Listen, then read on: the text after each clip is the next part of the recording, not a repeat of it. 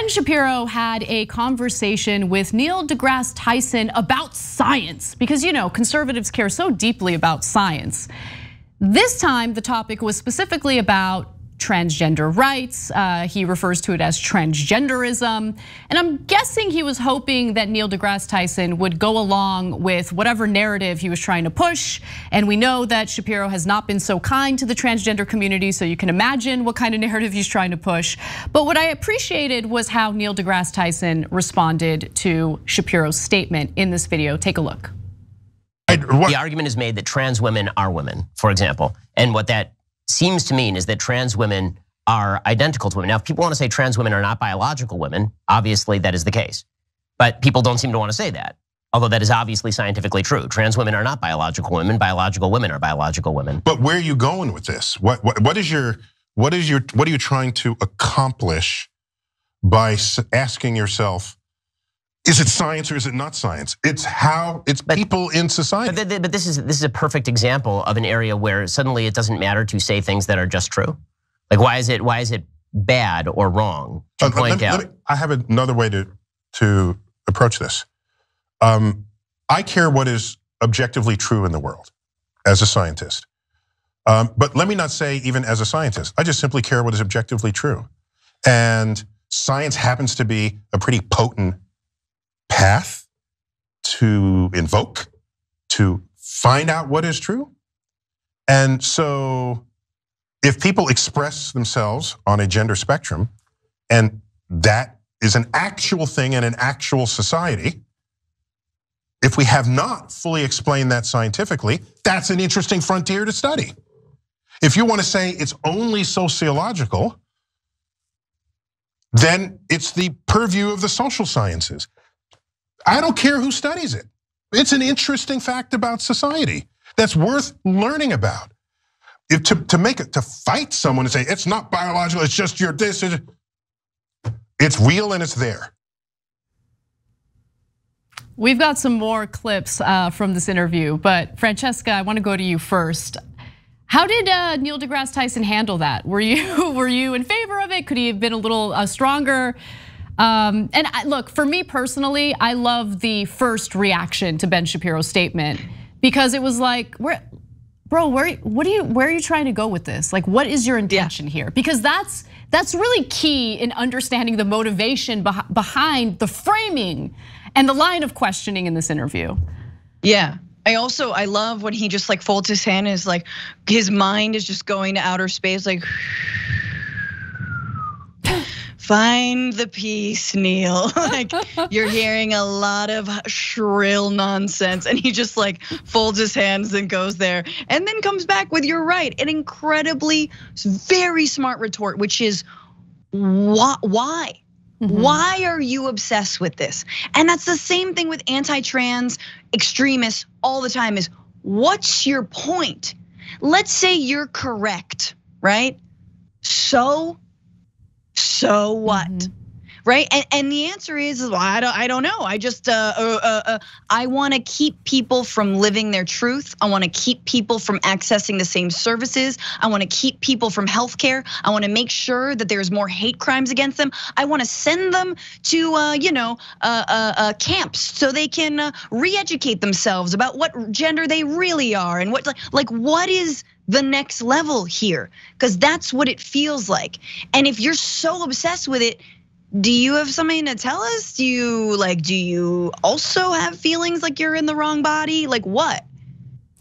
Yeah, I mean, I think it's it's similar to the mentality against same-sex marriage, right? I think that there's an element to this where I don't I don't think elements of the right wing take the transgender community seriously in that they seem to think that it's some sort of lifestyle choice, right? Mm-hmm. And it's it's so that's why they're so focused on the biological arguments, right? But biologically, it's a woman, it's a man, not a woman. Biologically, this, biologically, they're trying to like hone in on, you know, in their minds, uh, this perverse way of living and a perverse lifestyle choice that people are making. When in reality, that's obviously not the case. Who the hell makes a decision that basically makes them vulnerable to the worst forms of hatred, brutality, violence, discrimination.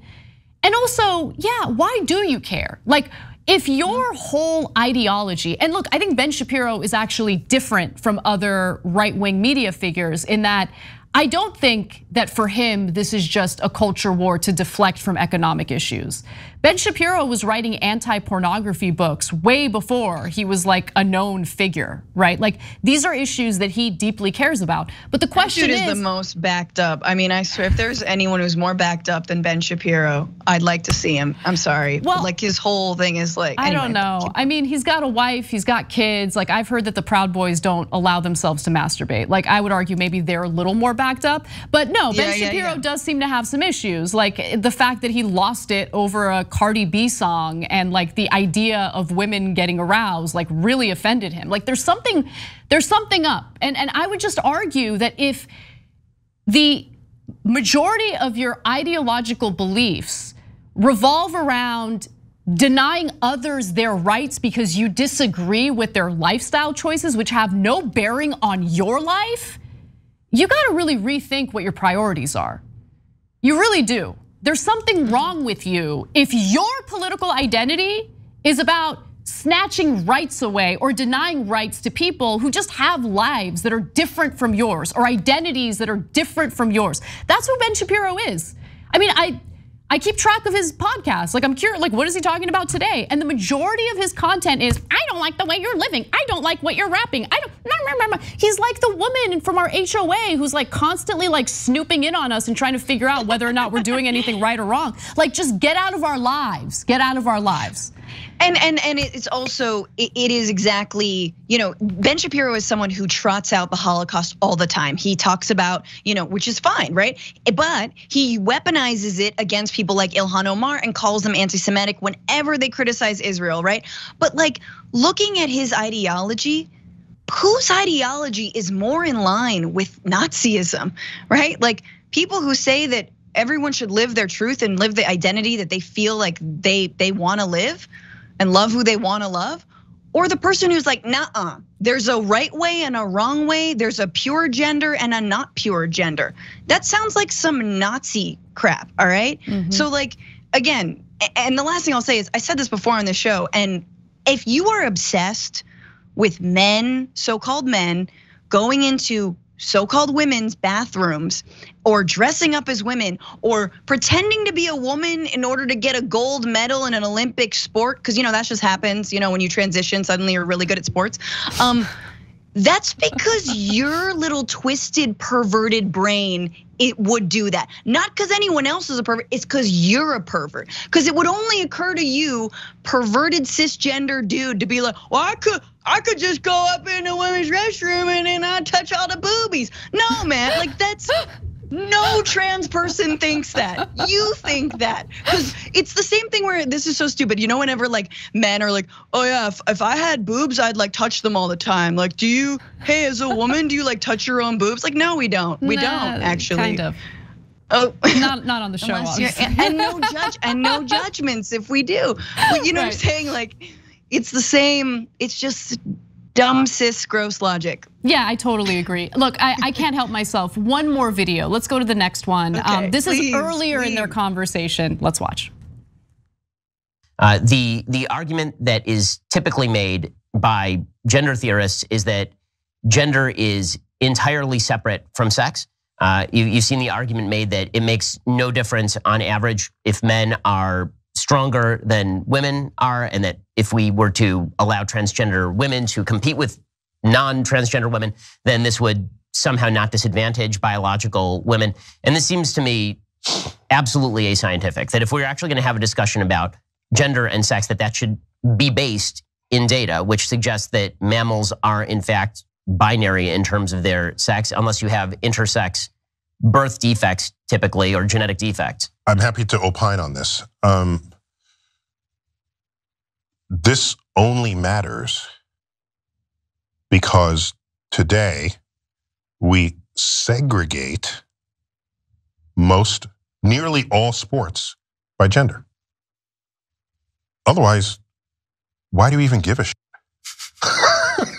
what's what someone identifies with. So this is we live in a free country, and with consenting adults and people free expression of who and what they are. Man, on adult level, I agree with you. I, think it, it does matter what you teach That's what children. I'm saying. And, and so there's the there's the, the the matrix of of you know what you are biologically, how you express yourself, who you choose as a sexual partner. If we actually live in a free country as we tell ourselves, people's freedom to behave in any of those ways should not concern you at all. Nor are they requiring that you behave that way. Okay, well, this is for their own freedoms because well, we live in a free country.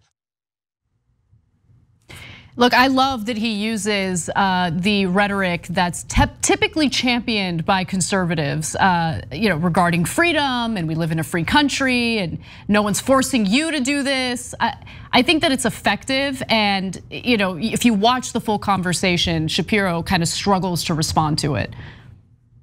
It's so big of Shapiro. I'm sorry, but just hats off so little Ben Shapiro for having um, I'm someone who actually believes that the the Earth rotates around Sun instead of the other way around, as many of my viewers probably believe, um, and that I know and I I, I know this might trigger some of the uh, flat earthers out there, and I, there's I mean no offense to them, but uh, uh, uh, you know like is it great? Like I love that he's got an astronomer on. I like know, that's just know. you know.